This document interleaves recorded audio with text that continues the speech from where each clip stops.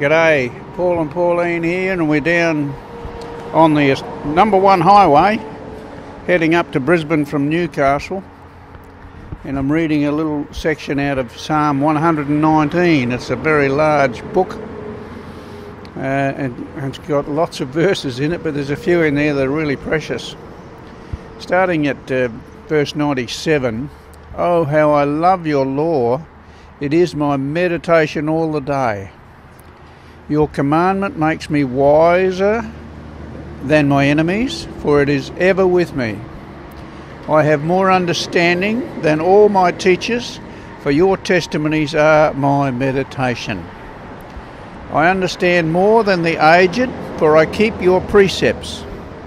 I hold back my feet from every evil way in order to keep your word.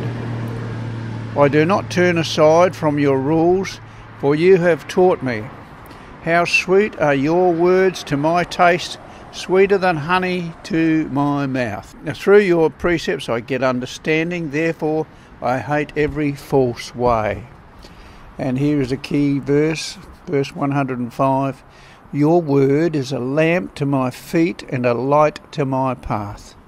Hallelujah. It's so important that we get into this word regularly on a daily basis and allow it to sink into us and be part of our life. It'll guide us, it'll protect us, it'll heal us, it'll warn us, it'll it'll convict us, and it's so powerful in many ways. So that's a little word from Psalm 119. Your word is a lamp to my feet and a light to my path. It'll show you the way if you know it and follow it. Listen to it and obey it. You have a great day. You get into the word and let the word get into you. See you later now. Goodbye.